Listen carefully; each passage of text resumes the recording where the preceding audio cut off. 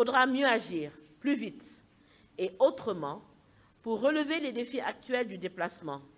Sur près de 4,68 millions de réfugiés vivant dans la région des Grands Lacs, présentement, plus de la moitié vivent dans des situations d'asile prolongées dépassant une période de 5 ans et plus.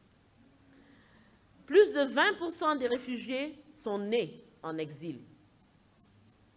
Compte tenu de ces données, il faut un nouveau modèle de réponse aux crises de réfugiés qui favorise la mobilité, l'accès à l'emploi et à l'auto-emploi.